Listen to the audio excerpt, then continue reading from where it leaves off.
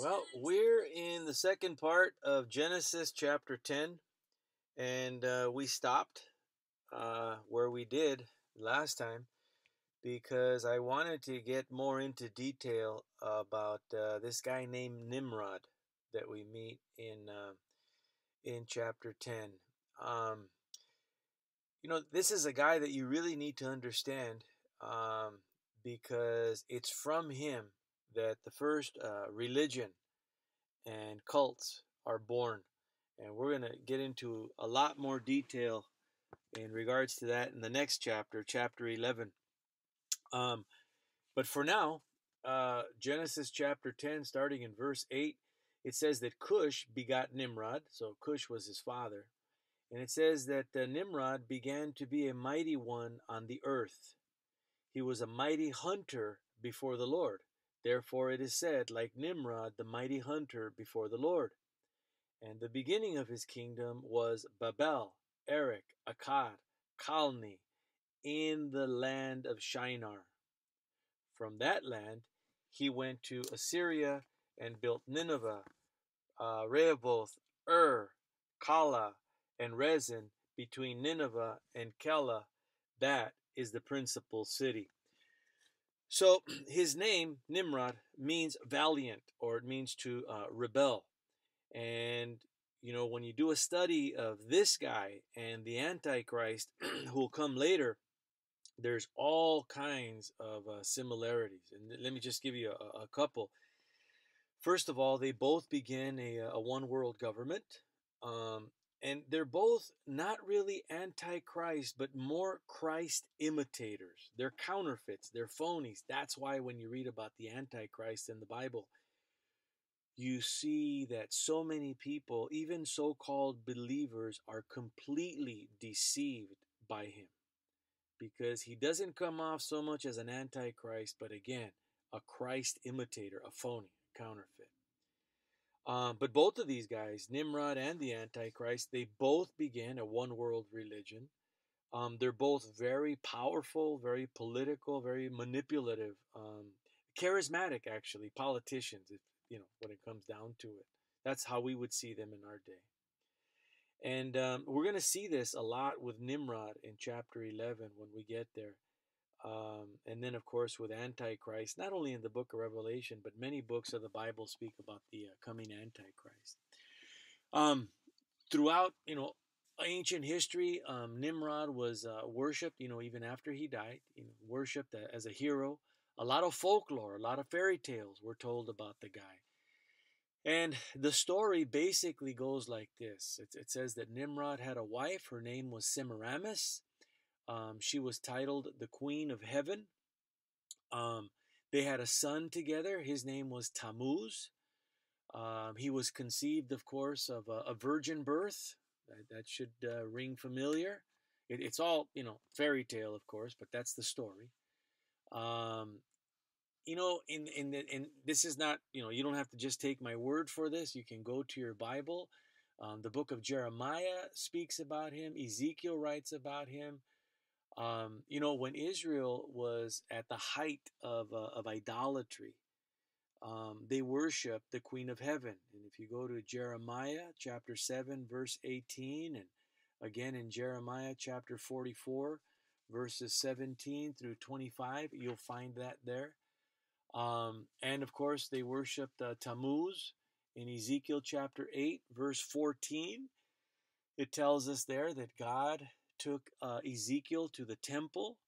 Um, God cut a hole in the wall, and he says, You know, Ezekiel, look in there and look what my people are doing. And then, of course, you see all of these things that the, that the actual the, the religious leaders were doing. And they were worshiping uh, in many different ways. Tammuz and his mother Semiramis. It all began in uh, chapter 10 and chapter 11 of Genesis, which is why it's so important to understand what's going on there. or what's going on here. Um, so, you know, this worship of Tammuz, the queen of heaven, it's evolved over time, over thousands of years. And so you might have seen people that don't know very much about their Bible. They wear a cross, and the cross, rather than be a T, it looks more like an uppercase T with a loop at the top. Um, that has nothing to do with Jesus. That is all about Tammuz, who, in the days of Egypt, when Egypt ruled the world, and maybe in some parts of the day uh, in the world today, um, that uh, T with a loop at the top uh, symbolizes the T is for Tammuz, I should say, and the loop is for the sun, because in the days of ancient Egypt, uh, Tammuz had evolved into what is known as the sun god. And when you see the name of Pharaoh, the R A H in the middle stands for Ra, and Ra was the sun god. That's why um, the Pharaoh was always uh, deified or, or worshipped as a god in the days of Egypt. So that's what that stands for. You go further, you say, well, you know, for Christmas, they put out a Christmas tree. Stand out of the box for a minute. Ask yourself these questions. What does a, a, a tree, an evergreen tree, or a pine tree have to do with, with the birth of Jesus? Well, nothing. Um, in fact, uh, the Christmas tree was uh, symbolic of pagan worship long before Jesus was born in the New Testament. If you go to Jeremiah chapter 10, verses 1 through 5, um, God uh, spoke of this indictment on his people because they were going out to the forest, they were cutting down these evergreen trees, bringing them into the living room, decorating them with silver strands. All of that goes back to uh, Tammuz. The Yule log that was burned uh, in the fire. Um, so that log in the evening would go into the fireplace. Um, it would symbolize uh, uh, Tammuz and it would burn and of course be destroyed, turned into ashes. But in the morning, early in the morning, before the family woke up, the father would put a new log in the fireplace, and it symbolized the resurrection of Tammuz. Um, and the reason they did this is because one of the uh, fairy tales, the folklore, is a story that was told about Nimrod and his son Tammuz and all of that. Eventually, Nimrod becomes Tammuz, Tammuz comes Nimrod, they become one person. You know, it, it gets crazy when it comes to religious tradition and nobody ever asks any questions. But the story says that, uh, you know, Nimrod, Tammuz, they were mighty hunters. And one day they went out to hunt wild boar. That's a pig, that's pork, which is why we eat pork or a pork leg, a roast, a ham, as we call it, on Easter and on Christmas. This is what it's tied into. Uh, they were out hunting, or he was out hunting, and he was killed by the wild boar. But three days later, he was resurrected miraculously from the dead. And so remember, this is a story that was told many, many years before the birth of Jesus. And of course, this story, the roots of the story and the folklore and all of that has its roots in Satan and hell because Satan understood exactly what God said in Genesis chapter 3, verse 15, when he spoke of the coming Messiah who would be born of a virgin, who uh, would die and be resurrected again, you know, all of that. And uh, of course, Easter, same thing. It all has its roots in Bab- ancient Babylonian religion. And if you really think about it, if you really want to go crazy with this, one day do a study on all the Catholic religious system, all of its symbols, and you will find that it is really just a carryover from the ancient Babylonian religion. Pretty interesting stuff. If you want to study further, there is a book called um, The Two Babylons by Alexander Hislop. And he covers all of that very thoroughly, all the way down to the pre celibacy, to the black that they dress in with the white collar, the hats that the cardinals wear. I mean, the whole thing. Very interesting when you compare Roman Catholicism with the ancient Babylonian uh, religion. So, again, we'll be talking a little bit more about that when we get to Genesis chapter 11. But it says that Nimrod was a mighty hunter before the Lord. Well, it says that because when you look at the original language, uh, Nimrod, because of all the false religion and cults that he brought into the world, or actually that Satan brought into the world through Nimrod, he was actually, what this actually means is that he was more of a hunter of men's souls, not wild animals, as people might think, but the hunter of men's souls because he used religion and he used deceit to actually turn people away from the truth of God to um, what we would call now, you know, something that's more politically correct. Well, verse 10 says, The beginning of Nimrod's kingdom was Babel, Erech, uh, Akkad, and Kalna in the land of Shinar. From that land, it says he went to Assyria and built Nineveh, Rehoboth, Ur, Calah, and Rezin between Nineveh and Calah. That is the principal city. So, Nimrod, uh, you know, by the world standards, was a great man. I mean, he built great cities, uh, starting with Babylon, and and you know where that's concerned. So Babel eventually turns into Babylon. We'll see that in Genesis chapter eleven. But you know, somebody said that um, the Bible can actually be titled the story or the, the tale of two cities, and uh, one city being Jerusalem, the city of God, of course and the other city, the city of Babylon, which is the city of Satan, always has been and will be till the end of the days. Um, you know, a lot of people say, well, you know, I've been to Jerusalem and I've seen some things. I've been there myself. And I'll tell you right now, Jerusalem is not now or ever has been uh, the perfect city, but it is the city that God chose. Babylon, very different on the other hand. Um, again, in chapter 11, we're going to see, but Babylon is the beginning of every false religion and cult, like I said before, that the world has ever, ever, ever known.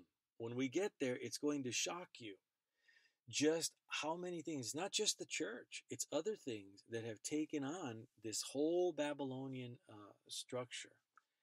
Um, but the Bible, the, the New King James Version, mentions Babylon 260 times in the Old Testament 14 times in the New Testament.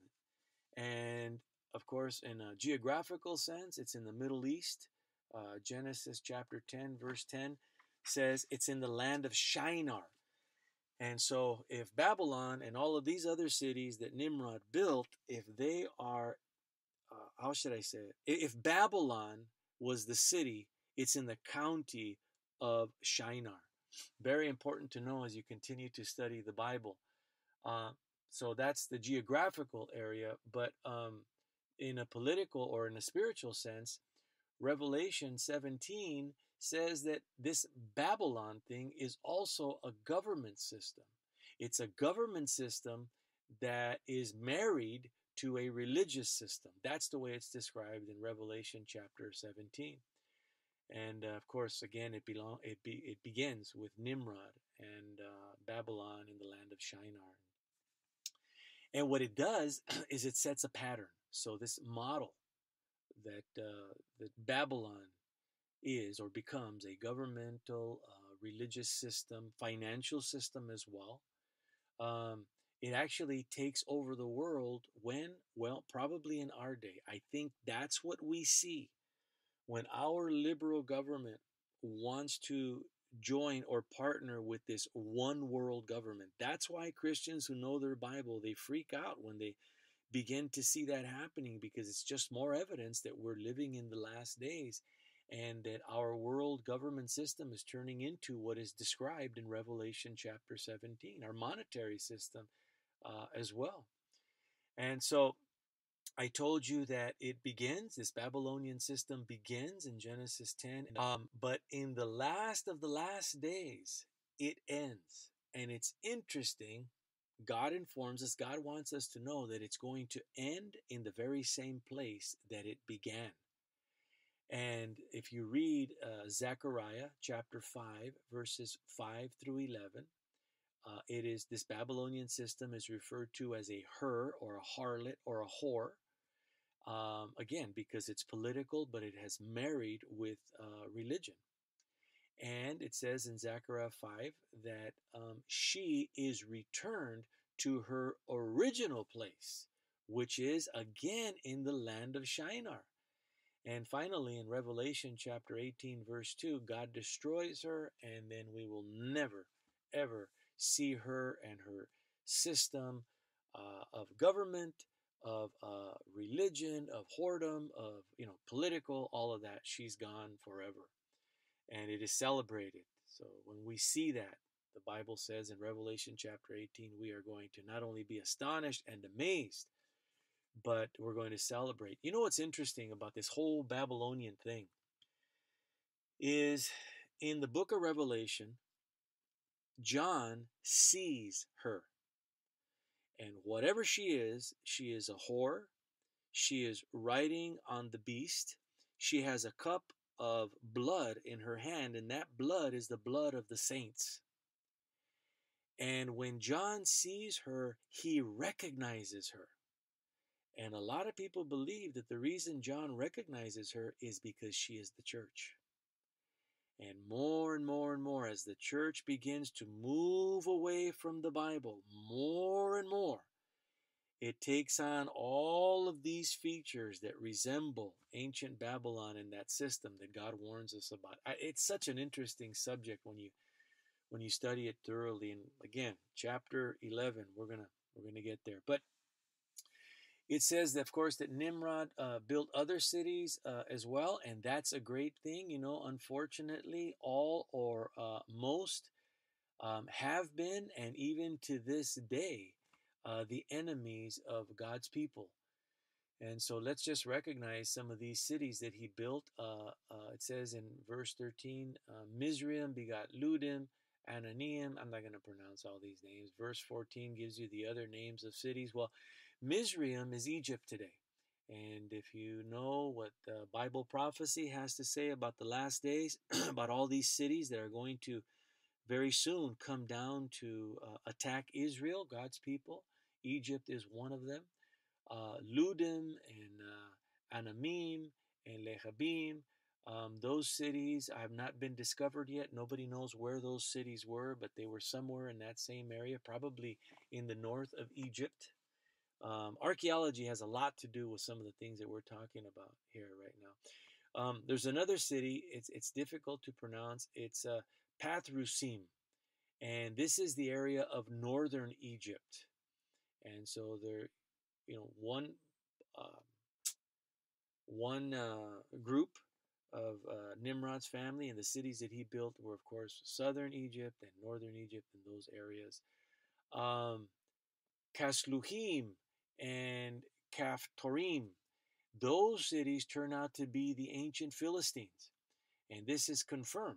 This is not uh, archaeology or otherwise, although archaeology has confirmed it. The Bible in Amos chapter 9, verse 7 refers to that fact. Uh, Jeremiah 47, verse 4 also will tell you that those cities became uh, the land of the Philistines, which of course always have been the uh, enemies of Israel. That's where Goliath came from. Um, Delilah, that's the harlot that uh, Samson messed around with. And if you ever hear people talk about the land of Israel today, sometimes, especially uh, Muslims, uh, Arabs, they'll refer to it as Palestine. And you might wonder, hey, it's Israel. Why are they call it? Why are they calling it Palestine? Well, what happened about 2,000 years ago, 1900 years ago, actually, is um, Rome was in power and Rome was completely fed up with Israel. You have to understand that when you are dealing, when you want to create a world government and you are confronted with God's people who are just bent on holding to the truth of the Bible, you're going to have a major interruption. And um, Rome was just fed up with Israel not going along with the program because Israel stood on the truth of the Bible. Um, I forget the emperor's name, but he passed an edict or a law that said, That's it, we're done. No more Jews are ever allowed in Israel. And they call it the uh, diaspora. All the Jews were cast out, and um, Rome went in there and tore down a bunch of trees um, covered the whole area with sand.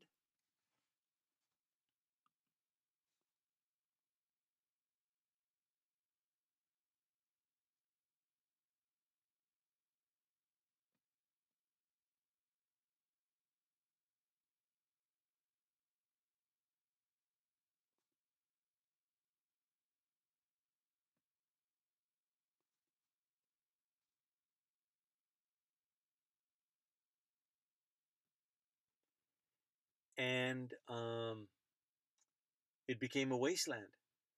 And in the final act, the, the, the last slap in the face that Rome gave to the Jewish people was renaming it. Rather than Israel, Rome renamed it Palestine. Why Palestine? Because Palestine means Philistine, and the Philistines were known as the ancient enemies of Israel. And so um, the renaming of Israel, the when they renamed Israel Palestine, it was just a slap or a spit in the face of uh, God's people. And so um, it is the promised land. It is named um, Israel after the name that God gave uh, Jacob. We'll get there when we get further ahead in the other chapters of the book of Genesis. And so that's the history, a little bit of history of, uh, of the land of Israel. Well, in verses 15 to 20 is the genealogy of Canaan. And if you remember, that was Ham's youngest son, uh, who Noah cursed in Genesis chapter 9, verse 25. And it says, Canaan begot Sidon, his firstborn, and Heth, the Jebusite, the Amorite, the Girgashite, the Hivite, the Arkite, and the Sinite, and the Arvadite, and all of these other names. And it says, Afterward, the families of the Canaanites were dispersed, and the border of the Canaanites was from Sidon as you go toward Gerar as far as Gaza. Then, as you go towards Sodom, Gomorrah, Adama, Zeboim, and as far as Lasha, these were the sons of Ham according to their families, according to their languages, in their lands and in their nations. Well, this is pretty straightforward. Um, all these people become the cities and the towns in the land of Canaan, which is Israel, uh, which is that's what Israel was called before it was Israel. So it was Canaan, then it was Israel, and then it was Palestine. But all of these people that we just mentioned, all of them were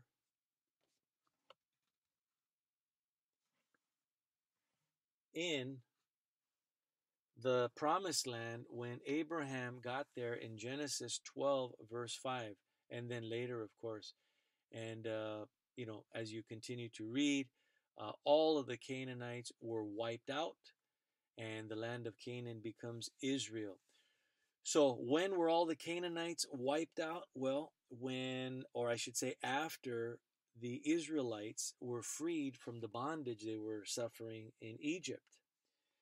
And here is where, again, people who don't know their Bible, um, they want to blame God, hold God somehow guilty, uh, because he commanded that his people, when they left Egypt, go into that promised land, again, called Canaan at the time, and they were to wipe out, literally wipe out all of these people. And it's true and history and archaeology and the Bible, you know, God's not trying to hide that in any way. So you got to ask yourself if our God is a God of mercy, a God of uh, compassion, uh, uh, long suffering, and patient, why would God command his people to go in there and wipe out all of these Canaanites, all of these sons and daughters of Canaan? Well, I'll tell you why. And again, when you study your Bible, you pick up all of these details.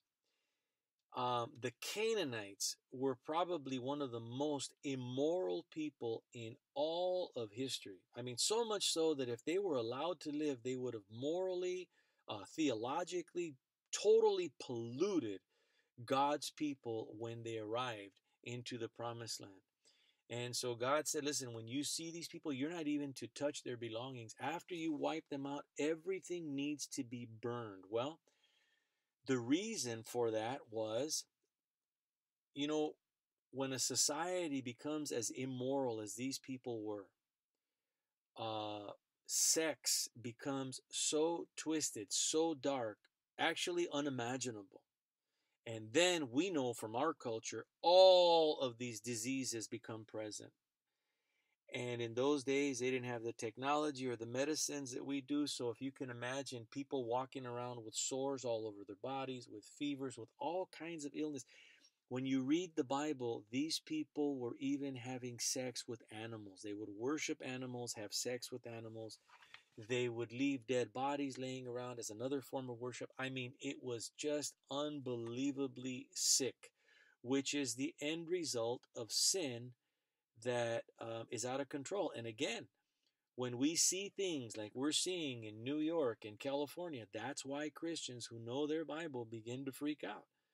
Because we know what happens in a society that practices such things. When you can't go to church, but you can go to a strip club, um, when you can buy recreational marijuana legally on the streets, but you can't sing in church, listen, there's a lot more going on than just the coronavirus epidemic. It's a spiritual battle. Um, you know, another thing that I, I, wanted to mention is that in these days that uh, we're living in, we see the progression of the immorality.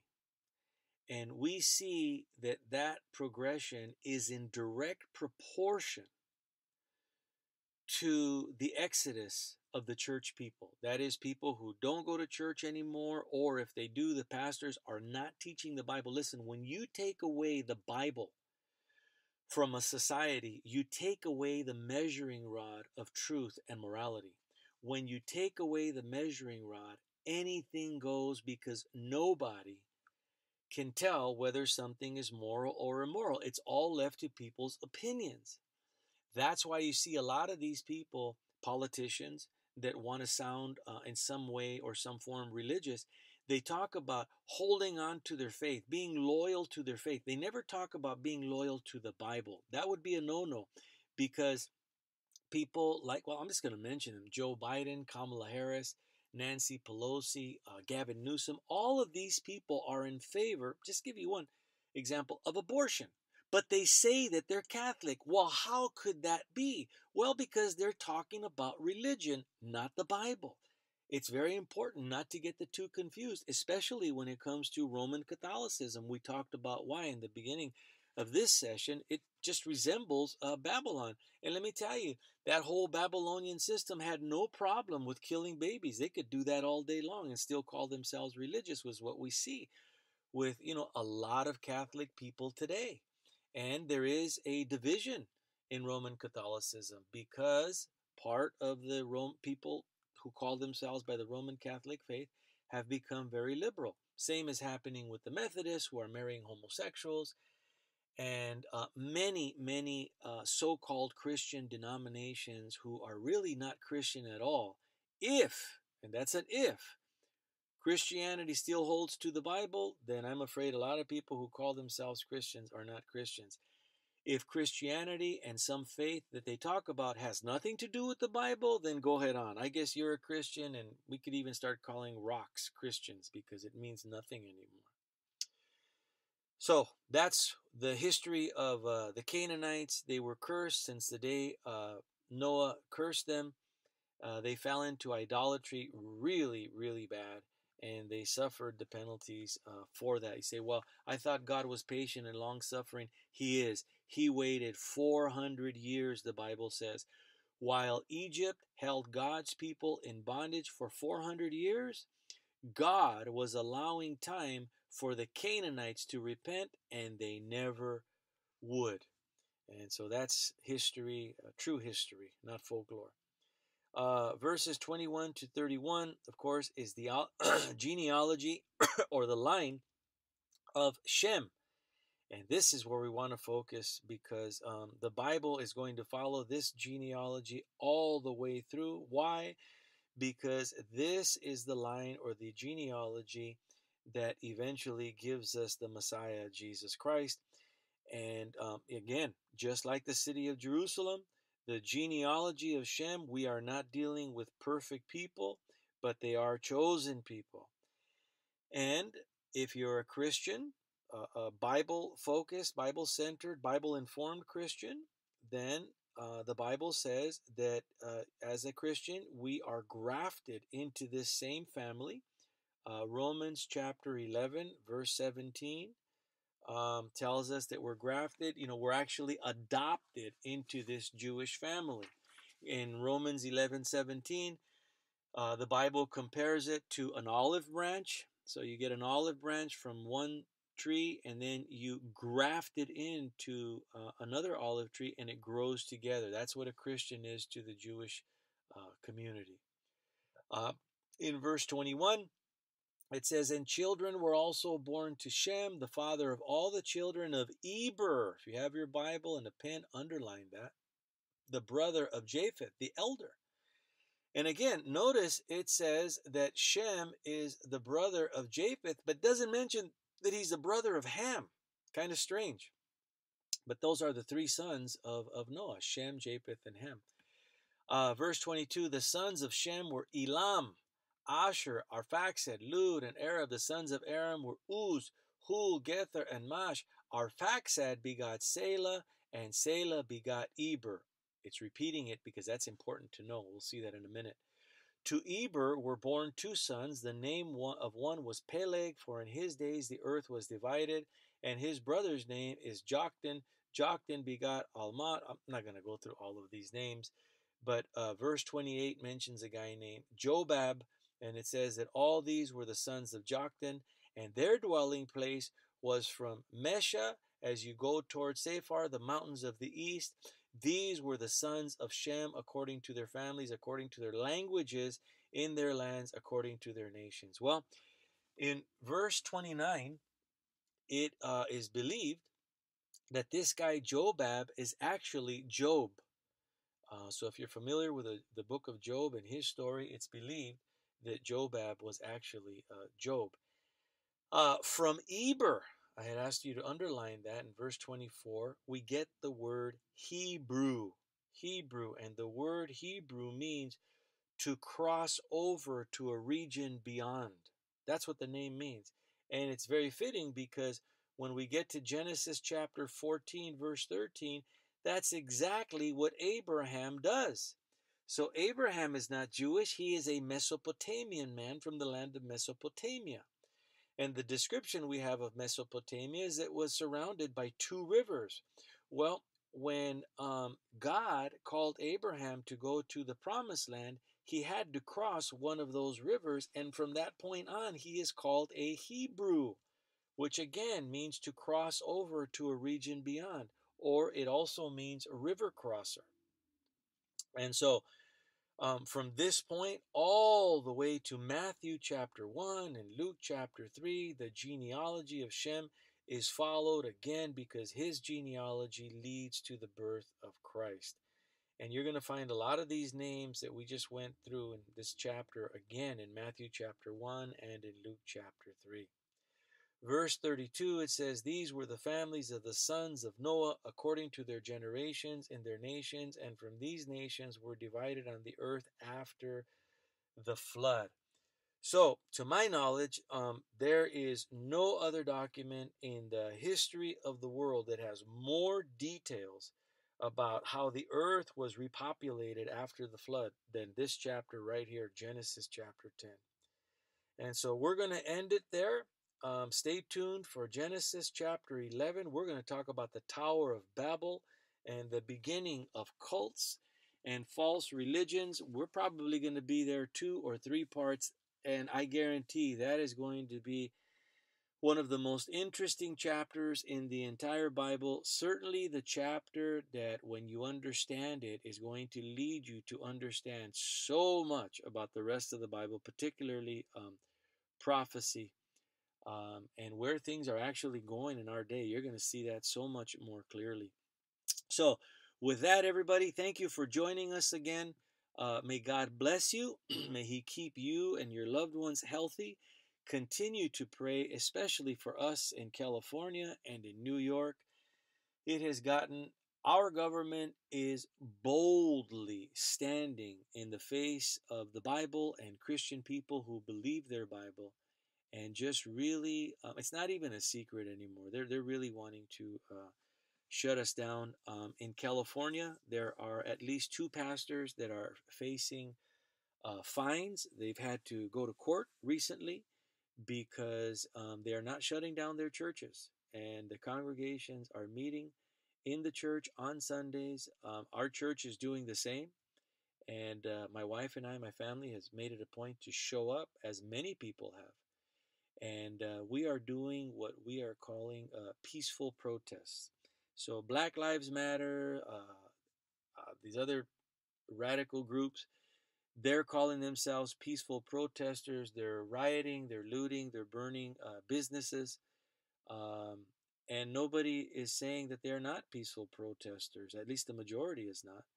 But when the church meets on Sundays, we're not peaceful protesters. We are violating the law, and government is coming after us. We think these are just signs of things to come. So keep us in prayer. Father, thank you for your word. Thank you for this uh, Genesis chapter 10, Father, and the account of uh, the post flood and the repopulation of the world. Where would we be without it? Lord, in this we know you love us. You it is your heart's desire to share secret things with your people. And here we are, Father, exploring those secret things that you've desired to share with us. And for that, we're so grateful, Father, not only to discover these things, but to understand that because we have them, it's just more evidence of your love for us. We pray for this lost world. We pray that you would protect your true church. And Father, if you have, um, if it's been your will that we come to a place as the church to suffer in these days, let it be, Father. Let us move forward with a boldness, not a cowardness. Let us hold on to our Bibles. Father, I pray for every single pastor to give up all of the charismatic topical sermons and to take your church through the Bible. In these days, Father, like never before, it is so badly needed. Father, thank you. Lead us in this day. Father, bless all of our listeners in Jesus' name. Amen and amen. And of course, as usual, we're going to close this out with this wonderful song uh, by Jennifer Johnson I Am Elijah.